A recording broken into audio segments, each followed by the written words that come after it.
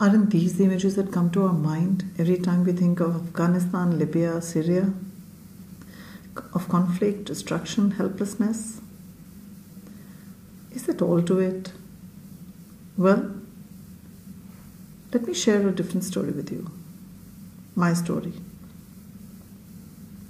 In the fall of 2017, I received a request from Ministry of Health in Libya to support them in the process of digitization of the national information systems using DHIS2. Libya?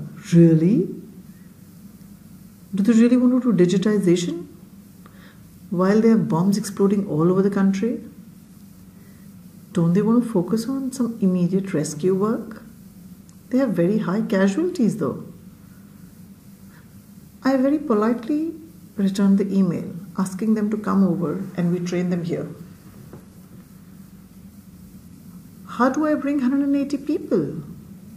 We don't have any such resources, please. Why don't you come with your team? He said over a forever interrupting Skype call.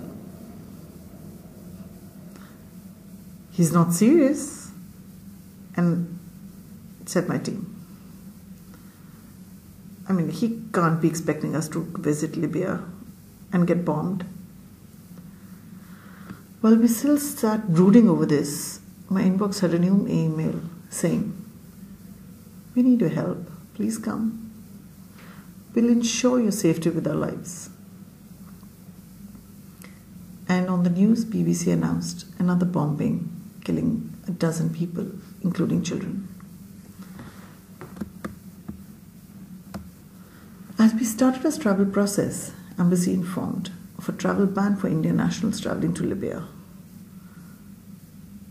While we excitedly announced this to the director, we heard, Well, that's fine, don't worry.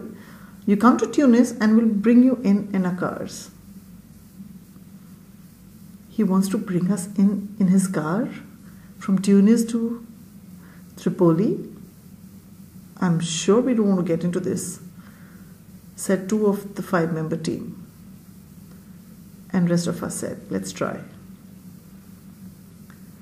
It was dusk by the time we reached Tunis. A big warm hug awaited us behind the placards.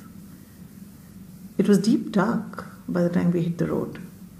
A big car full of people, vaccine supplies, destined for Tripoli and, Benghazi. We missed a beat at the border checkpost. But as Dr. Akhtar had said, just trust. We will ensure your safety with our lives. Entering the training center next day was a completely new world. 80 people awaited us, all very, very keen to get started. And they had all braved their ways to this training. The training went well, and Libya is the first country to implement WHO modules on DHIS for immunization, tuberculosis, and cause of death, along with all the other data sets.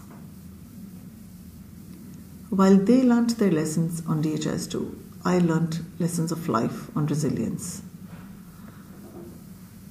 Changing my country's situation is beyond me, but I can change the situation I'm responsible for a better health system for my countrymen. And this is what I will do make my country's system the best. So, when peace returns to my country, my country systems are ready for, to work with the required pace, said Dr. Akhtar with a promise in his eyes and the heart.